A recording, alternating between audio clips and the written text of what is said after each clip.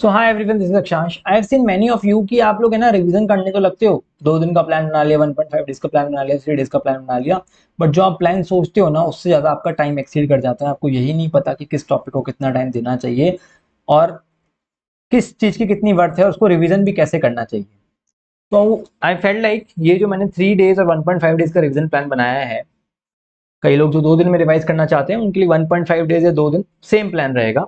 या फिर तीन दिन में। तो मेरे ख्याल से रिकमेंडेड चीज़ ये रहेगी कि पहला रिवीजन आपका तीन दिन में होना चाहिए अभी बचे हुए टाइम में।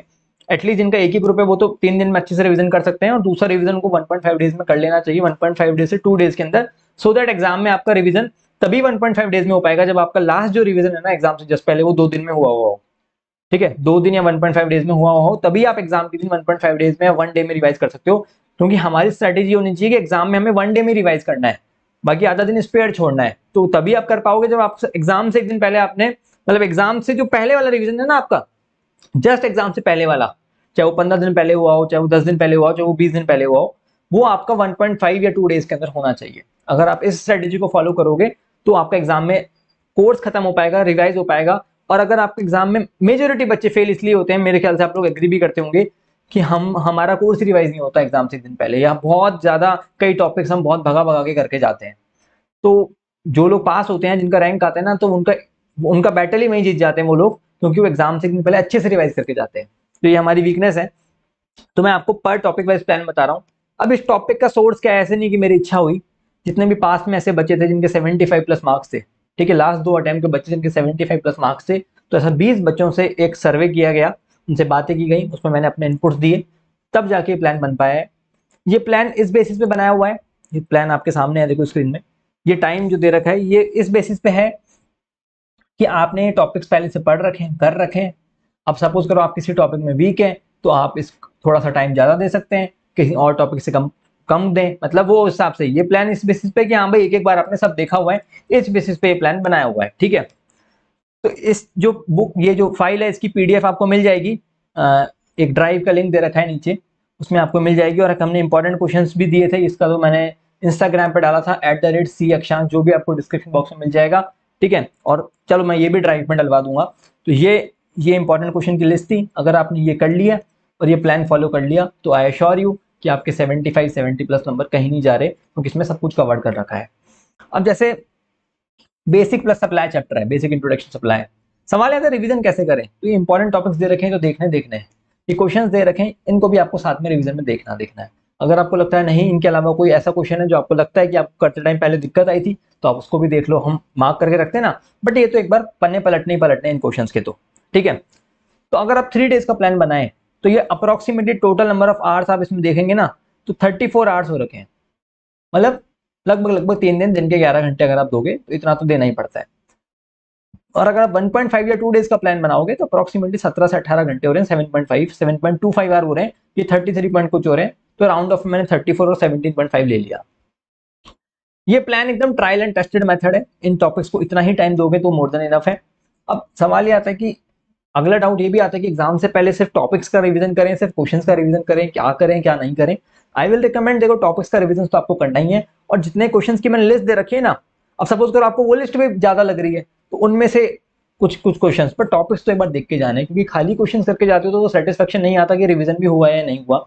तो कॉन्सेप्ट तो रिवीजन करना ही करना है प्लस कुछ इंपॉर्टेंट क्वेश्चन का रिवीजन करना है। अब जैसे अगर मैं थ्री डेज़ वाली प्लान की बात करूँ तो जैसे आईटीसी और वैल्यूशन है, इनका आपको दो, एक दो क्वेश्चन लिख के देखने रहेंगे। है ना? एटलीस्ट थ्री डेज़ वाले प्लान को लिख के देखने रहेंगे। जैसे अब आईटीसी की अगर मैं बात करूँ तो आपको दिख रहा है, जैसे अब इसमें क्वेश्चन नंबर एक फिफ्टी थ्री करके है। अच्छा क्वेश्चन है। ये आपको लिख के देखना रहेगा। आप लिख लेना थ्री डेज़ वाले प्लान में। ठीक है? अगर जैसे अपन बुक खोलें हमारा क्वेश्चन बैंक जैसे अपन खोलते हैं तो आप देखिए आईटीसी चैप्टर के लिए क्वेश्चन नंबर ये कुछ क्वेश्चन हैं। वैल्यूशन के और आईटीसी के जो मैं आपको बताया हूँ, जो आपको थ्री डेज़ वाले प्लान में अगर आप लिख के देखोगे तो ज़्यादा बेहतरीन रहेगा। एक क्वेश्चन है आपका क्वेश्चन नंबर 53 नहीं है, फिर वो 54 क्वेश्चन है। 54 क्वेश्चन को अगर आप लिख के देखेंगे तो बहुत अच्छा रहेगा इंपॉर्टेंट क्वेश्चन है इस अटैम्प्ट के लिए, काफ़ी इंपॉर्टेंट क्वेश्चन रहेगा।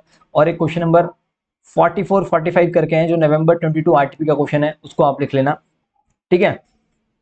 ये क्वेश्चन आपको लिख के देखने रहेंगे तो एक क्वेश्चन नंबर 17 एक 54 एक क्वेश्चन नंबर 44 और 45 वो एक ही क्वेश्चन है बेसिकली तो इन क्वेश्चन को आपको लिख के देखना है आईटीसी के अंदर तो हेल्प मिलेगी आपको। ठीक है? अगर मैं वैल्यूशन चैप्टर की बात करूँ वैल्यूशन चैप्टर के अंदर भी कई कॉन्सेप्ट ऐसे हैं जो कि इंपॉर्टेंट है, जो आपको लिख के ही देखने चाहिए। जैसे अगर अपन वैल्यूशन चैप्टर की बात करें तो आप देख सकते हैं कौन कौन से क्वेश्चन आपने एक आध क्वेश्चन तो लिख के देखना है, जैसे question number forty one it's a very good question तो इसको आपको एक बार बस फटाफट फटाफट लिख के देख लिया, नहीं कि पूरा सजा रहे हैं, बस इतना सब करके देख लो, चल जाएगा।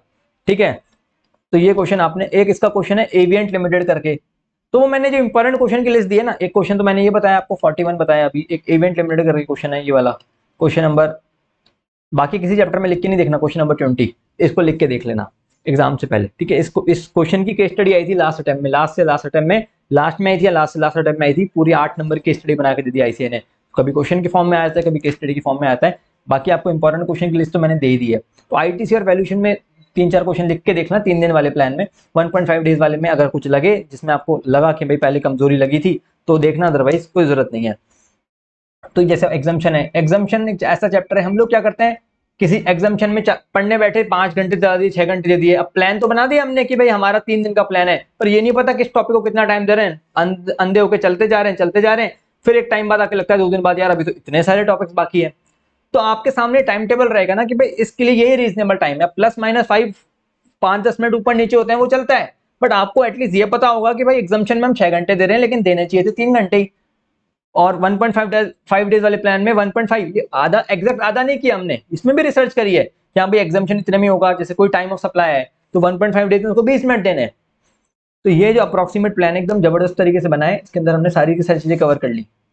अब ये वाली हरकतें मत करना कि यार ए बी सी कैटेगरी करो। जो कई लोग क्या करते हैं कि रिवीजन जब करते हैं ना तो सी कैटेगरी के चैप्टर छोड़ जाते हैं। अब आप लोग कैसे जज करते हो सी कैटेगरी का चैप्टर है, वो मुझे नहीं पता। ऐसे का कोई भरोसा नहीं है ना? भाई जजमेंट तो तब हो जब किसी का भरोसा हो। तो कहीं ना कहीं किसी ना किसी टॉपिक में कुछ ना कुछ चीज़ें इंपॉर्टेंट होती हैं। वो हार्डली एक कोई चैप्टर होता है जो बिल्कुल ही रबिश हो जहाँ से उम्मीद नहीं हो, लेकिन ऐसा कुछ छोड़ के नहीं जा सकते। तो आपको देना हर टॉपिक कोई टाइम है मतलब। ठीक है? बजट में जो टाइम बता रखा है, उस हिसाब से चलना। और इसमें मैंने इंपॉर्टेंट क्वेश्चन की लिस्ट दे दी। इंपॉर्टेंट टॉपिक्स की भी दिया इंपॉर्टेंट क्वेश्चन की भी दी है। ठीक है? ऑल ये मेथड भी काफ़ी लोग कॉपी कर रहे हैं। अच्छी बात है, मैं कह रहा हूँ हेल्दी कॉम्पिटिशन है। अभी ये रिविजन प्लान के टाइमिंग भी आ जाएँगे थोड़े दिनों में। पर अच्छी बात है हेल्दी कॉम्पिटिशन है, आप ही लोगों का भला हो रहा है। तो अच्छी अच्छी चीज़ें होनी चाहिए। तो इनको आप ज़रूर देख के जाना, इनको देख लेना। और इसको देख लेना, आपका मोर देन इनफ है। एडवांस रूलिंग को ज़्यादा टाइम नहीं दिया 20 मिनट 10 मिनट, क्योंकि इस बार आने की क्वेश्चन उम्मीद कम है एडवांस रूलिंग से। अब की बार पेनल्टी का क्वेश्चन आने की बहुत ज़्यादा पॉसिबिलिटी है। तो पेनल्टी के अच्छे से देख के जाना और मैं आपको एक चीज़ और रिकमेंड करूँगा। मेरा यूट्यूब पर वीडियो डालना। Theory question theory chapter revision in three hours मैंने अभी लेटेस्ट रिविजन लिया है थ्री आवर्स के अंदर। थ्योरी चैप्टर का, उसमें मैंने पेनल्टी वेनल्टी चैप्टर सब करवाए विद क्वेश्चंस का रिवीजन ये मोर देन सफिशिएंट है। फिर भी आपको लगता है कि यार हमको ना क्वेश्चंस की प्रैक्टिस ज़्यादा चाहिए, क्योंकि क्वेश्चन से नंबर आएँगे आईडीटी आपका ऐसा सब्जेक्ट है जो आपका 70 प्लस स्कोर कर सकता है और ये अटेम्प्ट आपका गोल्डन अटेम्प्ट है। किसी को लगता है ना यार, अभी भी कुछ ऐसा रिविजन हो जाए जो 40-50 घंटे के अंदर हमारा रिवीजन हो जाए विद क्वेश्चन खुद से रिवीजन करोगे, अगर आपने रिवीजन नहीं किया अभी तक आईडीटी का तो बैठेगा नहीं तो you can go for express batch और ऑल्सो तो एक्सप्रेस बैच में क्या किया कि किसी ने अगर आईडीटी पहले से पढ़ रखी है, एक बार भी या थोड़ा भी, थोड़ा बहुत भी पता है तो अच्छे से रिवाइज कर सकता है 45 से 50 आवर्स के अंदर हमने पूरा विद क्वेश्चन विद कॉन्सेप्ट करवाया तो प्रतीक जगाती डॉट कॉम हमारी वेबसाइट है, यहाँ पे आपको मिल जाएगा। मैं कोई प्रमोशन नहीं कर रहा हूँ, मैं आपको ये नहीं बोल रहा हूँ आप लोग, अगर आपको अच्छे से आता है यूट्यूब रिविजन वीडियो से भी काम हो जाएगा। जस्ट लाइक कि अगर आपको क्वेश्चन हर क्वेश्चन का ही देखना है कि सारे क्वेश्चन का रिविजन करना है तो you can go for that otherwise कोई ज़रूरत नहीं है ऑलरेडी लगभग लगभग बहुत सारे बच्चों ने इंडिया में खरीदा है तो हमको वैसा कुछ है भी नहीं, ठीक है? तो आप ये प्लान फॉलो करो, ये बिल्कुल कैलकुलेटेड टाइम है आपके लिए, हर चैप्टर के लिए टाइम दे रखा है तो एटलीस्ट आपको ये पता रहेगा कि किसको कितना टाइम देना है और ये क्वेश्चन है। इनको फॉलो करना, नीचे ड्राइव के नीचे आपको लिंक मिल जाएगा। फिर भी कुछ डाउट हो, और मेरे जो यूट्यूब पे रिविजन वीडियो इस अटैम्प्ट और लास्ट अटैम्प्ट दोनों में से कोई से भी देख लो सेम सही है। कोई ज़्यादा चेंजेस नहीं है। इस अटैम्प्ट के मैंने लगभग लगभग सब डाल रखे और एक बात और एम जो है ना एम की केस स्टडी लास्ट अटैम्प्ट की बुकलेट में चालीस क्वेश्चन थे। अभी आईसीआई ने कम कर दिए एक आईसीआई क्वेश्चन दे देगा जो पुरानी बुकलेट का होगा, और आप नई बुकलेट करके जाओगे, गड़बड़ हो जाएगी। तो पुरानी बुकलेट के जितने भी क्वेश्चन मैंने यूट्यूब पे करवा रखे ना अक्षांश गर्ग डालना एमसीक्यू बुकलेट मिल जाएँगे ट्वेंटी वन से थर्टी थर्टी वन से फोर्टी वन टू थ्री ऐसे कुछ मिल जाएँगे, उनको देखते जाना। ठीक है? तो हेल्प होगा काफ़ी। चलिए thanks a lot bye bye take care कुछ लगे तो कमेंट करिए एंड अगर अच्छा लगा तो do like this video like से क्या होता है वीडियो स्प्रेड हो जाता है automatically bye bye take care